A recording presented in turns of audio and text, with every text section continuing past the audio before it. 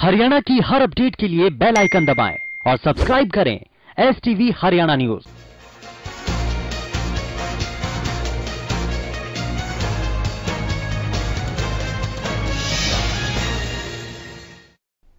नमस्कार, मैं अनामिका अजय मिश्रा, आप देख रहे हैं आपका जिला, आपकी खबर।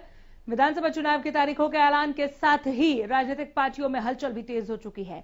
इसी सिलसिले में कांग्रेस के नवनियुक्त प्रदेश अध्यक्ष कुमारी शैलजा और पूर्व सीएम हुड्डा रोहतक पहुँचे, जहाँ उन्होंने कार्यकर्ताओं को संबोधित किया।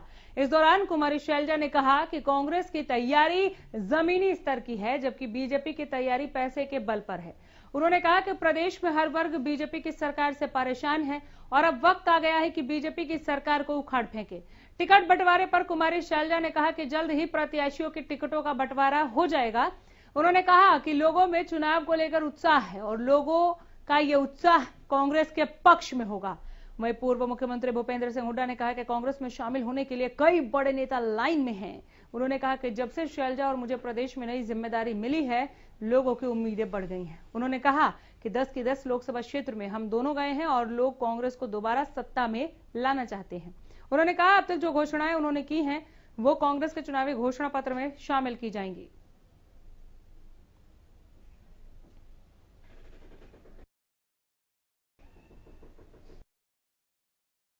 बहुत बढ़िया प्रोग्राम रहा, बहुत घंटों से लोग इंतज़ार कर रहे थे और बहुत उत्साह है उनमें सभी लोगों में, हमारे वर्कर नौ के नौ हल्कों से आए।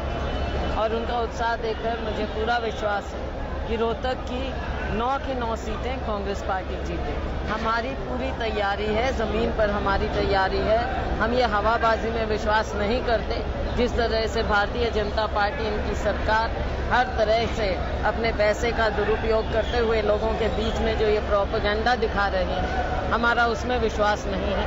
हमारा विश्वास ज़मीन के काम पर है और हमारे वर्कर पूरी तरह से पाँच साल से मेहनत कर रहे हैं और अब वक्त आ गया है इनका तख्ता पलट जाएगा। मैं गए हैं। दस पार्लियामेंट्री क्षेत्र हम कर, कवर कर चुके हैं। जो भारी जोश और जो समर्थन मिल रहा है उससे साफ़ ज़ाहिर है कि लोग इस सरकार से विमुख हैं और कांग्रेस की ओर देख रहे हैं कांग्रेस की सरकार बनाने जा रहे हैं। 2005 का हमारा घोषणा पत्र देखो 2009 का देखो। कोई भी नहीं यार इनका 2014 का भारतीय जनता पार्टी का देखो एक भी वायदा पूरा नहीं किया एचएलपी अध्यक्ष गोपाल कांडा महाराजा अग्रसेन प्राकृतिक चिकित्सालय योगपीठ पहुँचे, जहाँ लोगों ने उनका स्वागत करते हुए अभिनंदन व्यक्त किया। इस दौरान एचएलपी अध्यक्ष गोपाल कांडा ने प्राकृतिक चिकित्सालय का अवलोकन किया और डॉक्टर्स और पूरे स्टाफ की काम की तारीफ़ करते हुए एचएलपी अध्यक्ष गोपाल कांडा ने सभी की पीठ थपथपाई। वहीं उन्होंने कहा कि लोगों को प्राकृतिक चिकित्सा को अपनाना चाहिए। उन्होंने कहा कि मेरा राजनीति में आने का एक ही मकसद है कि मुझे लोगों की सेवा करनी है। और लोक हित में काम करना ही हमारा उद्देश्य है। एचएलपी अध्यक्ष गोपाल कांडा ने कहा कि ऐसे संस्कार हमें पिता से मिले हैं।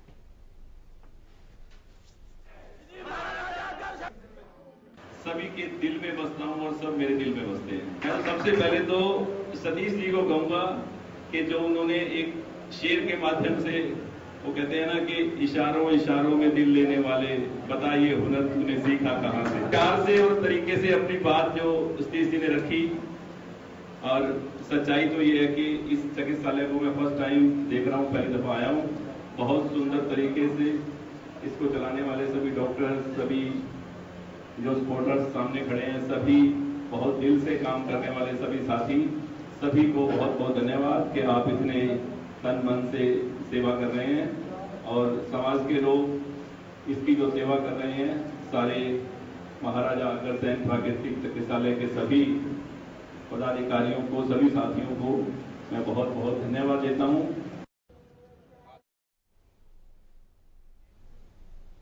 विधानसभा चुनाव की घोषणा और आचार संहिता लागू होने के बाद प्रदेश के तमाम उपायुक्तों को वीडियो कॉन्फ्रेंसिंग के ज़रिए पारदर्शिता के साथ चुनाव करवाने के लिए दिशा निर्देश जारी किए गए। इसी कड़ी में फरीदाबाद के सेक्टर 12 के डिप्टी कमिश्नर भी आला अधिकारियों के साथ वीडियो कॉन्फ्रेंसिंग के दौरान मौजूद रहे। ज़िले में चुनाव की तैयारियों को लेकर अपनी रिपोर्ट पेश की। वहीं पत्रकारों से बातचीत में जिला उपायुक्त अतुल द्विवेदी ने बताया कि फरीदाबाद प्रशासन चुनाव करवाने के लिए पूरी तरह से तैयार है और अधिकारियों को क्षेत्र वाइज जिम्मेदारियाँ सौंप दी गई हैं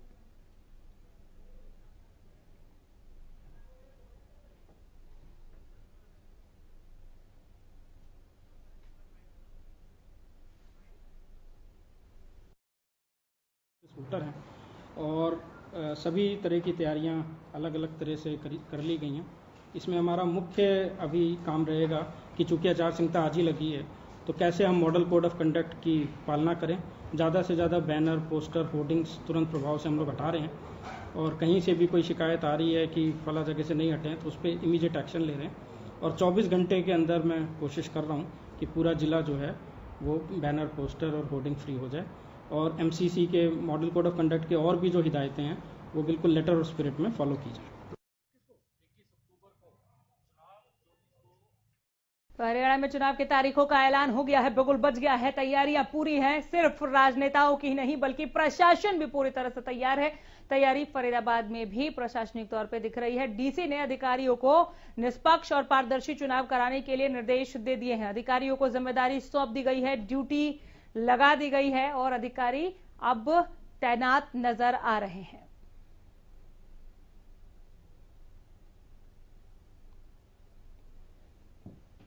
चुनाव के लिए फरीदाबाद प्रशासन पूरी तरह से तैयार है। इस उद्देश्य के साथ कि शांतिपूर्वक, निष्पक्ष और पारदर्शी चुनाव फरीदाबाद में करवाएँगे। डीसी ने निर्देश दिए हैं।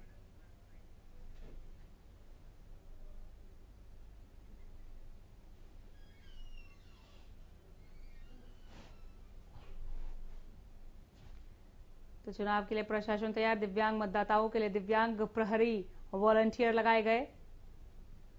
पैसे और शराब का इस्तेमाल रोकने के लिए किए गए पुख्ता प्रबंध। फरीदाबाद प्रशासन ने 18 फ्लाइंग स्क्वाड टीम बनाई है। विधानसभा चुनाव के लिए फरीदाबाद प्रशासन ने पूरी तैयारी कर ली है। फरीदाबाद में मतदाताओं की संख्या चौदह लाख बयानवे हज़ार दो सौ चौंतीस है। फरीदाबाद में अट्ठावन दिव्यांग मतदाता हैं। एक सौ चौरानवे संवेदनशील, एक सौ नब्बे अति संवेदनशील और एक क्रिटिकल बूथ चिन्हित है। दिव्यांग मतदाताओं के लिए दिव्यांग प्रहरी वॉलंटियर लगाए गए। पैसे और शराब का इस्तेमाल रोकने के लिए किए गए हैं पुख्ता प्रबंध। ये फरीदाबाद में चुनाव के लिए प्रशासनिक तैयारी ग्राफिक्स के ज़रिए आपको दिखा रहे हैं। प्रशासन ने 18 फ्लाइंग स्क्वाड टीम बनाई है। एक बार फिर से ये ग्राफिक्स आपकी टीवी स्क्रीन पर।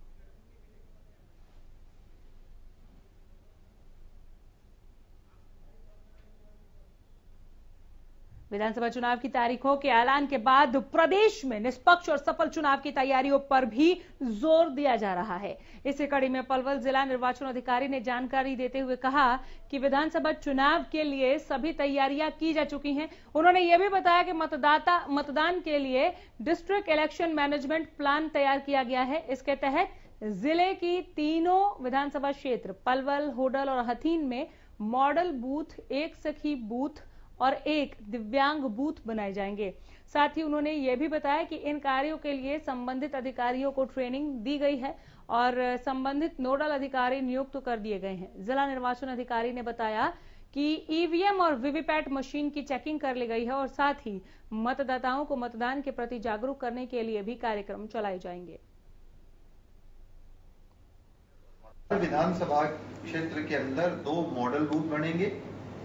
एक सखी बूथ बनेगा और एक दिव्यांग बूथ बनेगा। एक नया टर्म पिछले कुछ सालों के अंदर बहुत पॉपुलर हुआ है।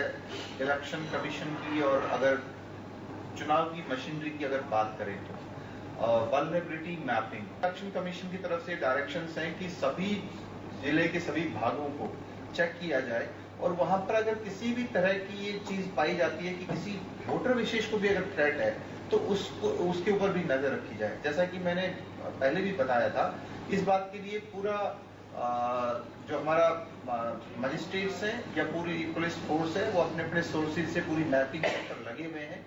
और इसके आर हमारे श्री वत्सल वशिष्ठ हैं, जो कि एसडीएम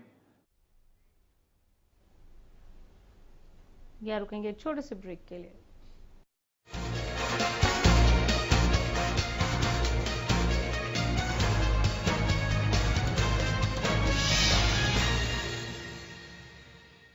प्रदेश में चुनावी तारीखों का ऐलान हो चुका है और आचार संहिता भी लागू की जा चुकी है, जिसके चलते नगर परिषद हरकत में आ गया और नगर परिषद ने शहर में लगे होर्डिंग बैनर और पोस्टर्स साथ ही साइन बोर्ड को उतारने के लिए अभियान शुरू कर दिया। नगर परिषद की टीम ने शहर में मुख्य चौकों से होते हुए बड़ौदा रोड, सिविल रोड पर लगे होर्डिंग और पोस्टर्स को उतार दिया। नगर परिषद के कर्मचारियों का कहना है कि आचार संहिता का उल्लंघन करने वालों के खिलाफ सख्त कार्रवाई की जाएगी।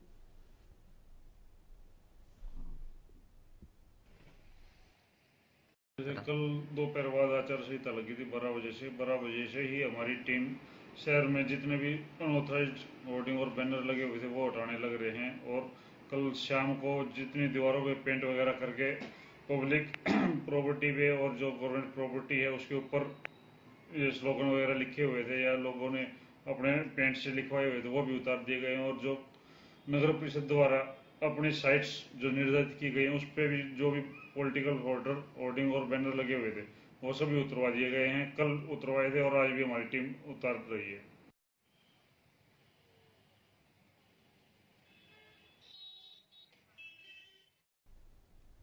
विधानसभा चुनाव के मद्देनजर प्रशासन पूरी तरह से तैयारियों में जुट चुका है। चुनावी तैयारियों में जुटे करनाल के जिला निर्वाचन अधिकारी विनय प्रताप सिंह ने बताया कि मतदाता और उम्मीदवार को चुनाव के दौरान कोई दिक्कत ना हो, इसके लिए जिला प्रशासन पूरी तरह से तैयार है। डीसी ने बताया कि सी विजल पोर्टल से आदर्श आचार संहिता की चौकसी रखी जाएगी, जिस पर किसी भी तरह के आचार संहिता का उल्लंघन होने पर मिली शिकायत का नब्बे मिनट में निपटारा किया जाएगा। वहीं इस बार के चुनाव में आयोग की ओर से सिंगल प्लास्टिक के इस्तेमाल पर पूर्ण प्रतिबंध लगाया है।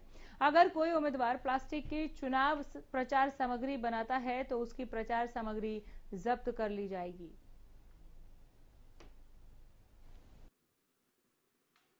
आज यहाँ करनाल में जो सभी तैयारियाँ आने वाले चुनाव से संबंधित हैं, उससे संबंधित एक प्रेस वार्ता की गई, जिसमें जो भी तैयारियाँ एक निष्पक्ष फेयर ट्रांसपेरेंट चुनाव कराने के लिए किसी भी प्रशासन के द्वारा की जाती हैं।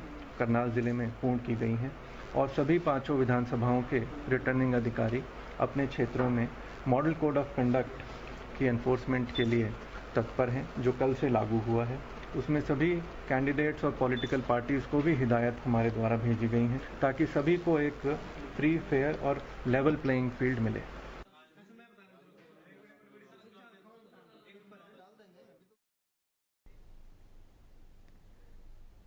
हरियाणा स्टाफ सिलेक्शन कमीशन की परीक्षा का आज दूसरा दिन है। यमुनानगर के एचएससी परीक्षा सेंटर में दूर दूर से आकर परीक्षार्थी परीक्षा दे रहे हैं।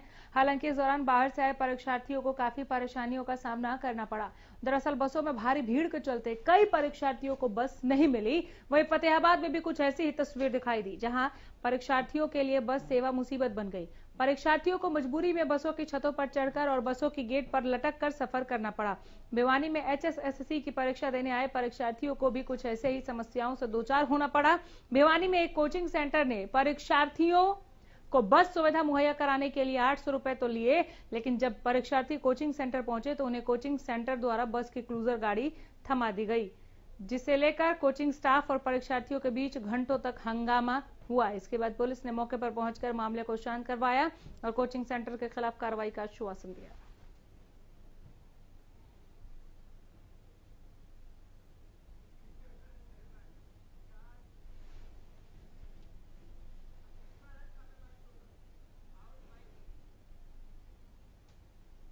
भोंडसी थाना के पास जैन फार्म हाउस से पुलिस ने रात में चल रही कॉकटेल पार्टी पर छापेमारी की। दरअसल पुलिस को गुप्त सूचना मिली थी कि जिसके आधार पर पुलिस ने छापेमारी कर पार्टी करने वाले छह युवकों को गिरफ़्तार किया, जबकि कुछ लोग फरार हो गए।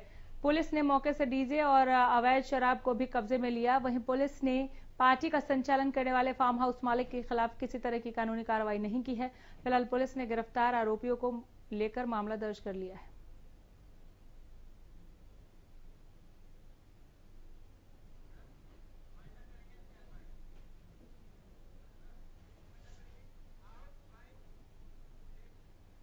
आपका जिला आपकी खबर में फ़िलहाल यही रुकेंगे। देखते रहिए हरियाणा न्यूज़। नमस्कार।